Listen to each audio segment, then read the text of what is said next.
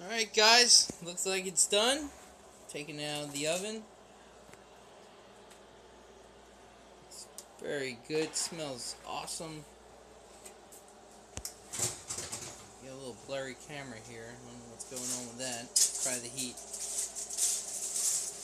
Stuffing was already in there. We got our mashed potatoes. We're gonna do the peas. We're gonna leave this out about 20 minutes. Let everything get together. We're gonna make our gravy and we will play and we'll get back to you.